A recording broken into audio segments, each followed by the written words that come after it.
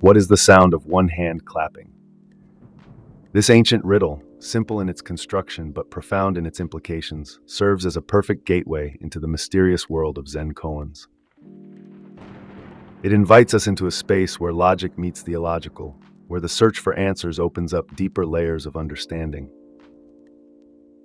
So as we delve into the labyrinth of Zen koans, navigating their depths and uncovering their secrets, I warmly welcome you.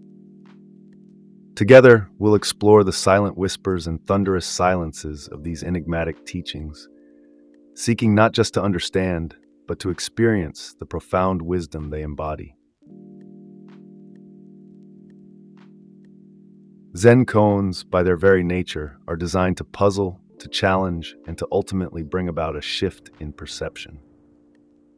These cryptic statements or questions, such as the sound of one hand clapping, are not meant for logical dissection, but are tools for enlightenment, pushing the mind beyond its conventional boundaries.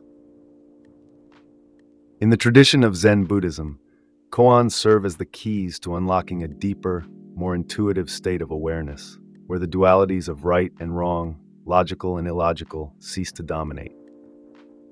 Tracing the origins of Zen koans leads us back to the mist-covered mountains of China, to the very heart of Zen Buddhism's emergence.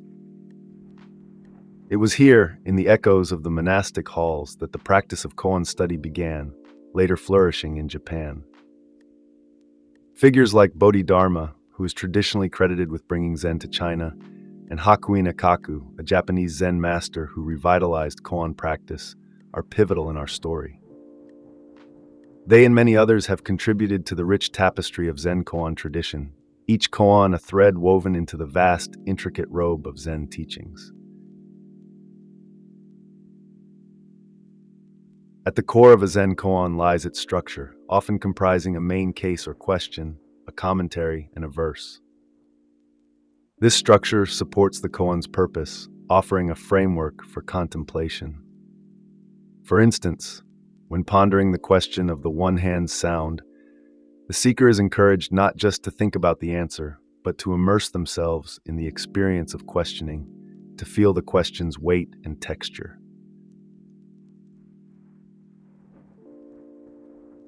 Among the pantheon of Zen koans, some stand out for their notoriety and the depth of insight they offer. Does a dog have Buddha nature? And mu, signifying no thing or emptiness, challenge our preconceived notions of self, nature, and the universe.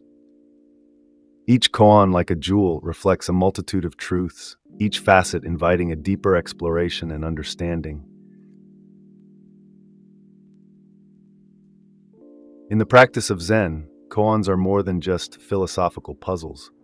They are integral to the meditative process.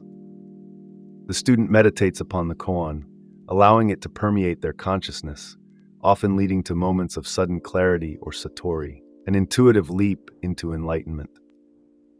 This practice, deeply personal and often guided by a master, underscores the dynamic relationship between teacher and student in Zen Buddhism.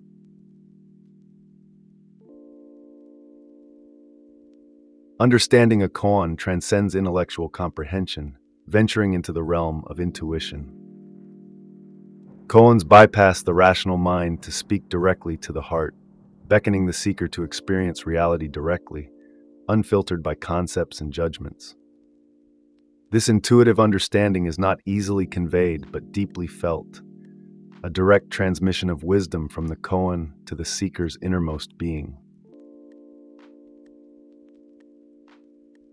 Yet the path of koan study is strewn with challenges and misconceptions. It is easy to fall into the trap of intellectualizing the koan or seeking a clever answer. However, the essence of koan practice lies in its ability to dissolve the barriers of the mind, to lead the practitioner to a place beyond words and thoughts, where true understanding can bloom. In our modern, fast paced world, the lessons of Zen koans remain remarkably relevant. They teach us mindfulness, the art of presence, and the importance of looking beyond the surface. Contemplating a koan can open up new ways of seeing, helping us navigate the complexities of life with a calmer, more centered perspective. The journey through Zen koans is deeply personal, and while the insights gained are unique to each individual, the wisdom of these ancient teachings is universal. Stories and testimonials from those who have walked this path highlight the transformative potential of koan study, offering inspiration and encouragement to others on their spiritual journey. Incorporating the wisdom of koans into daily life is both a challenge and an opportunity. It invites us to pause, to question, and to listen deeply, whether we're facing the mundane tasks of daily life or the profound questions of existence. The practice of reflecting on koans can bring a sense of clarity, equanimity, and openness to our everyday experiences. For those drawn to explore further, the world of Zen koans is rich with resources. From ancient texts to modern commentaries, from online forums to meditation retreats, the ways to engage with koan's study are as varied as the koans themselves. These resources offer a gateway to deeper understanding and practice, inviting seekers to continue their exploration of this profound spiritual path. As we near the end of our journey together, I invite you to reflect on the koans we've explored and the insights they offer. What does the sound of one hand clapping mean to you? How can the wisdom of Zen koans illuminate your path? The labyrinth of enlightenment is vast and intricate, but each step taken with mindfulness and openness brings us closer to understanding. Thank you sincerely for joining me in this exploration of Zen koans.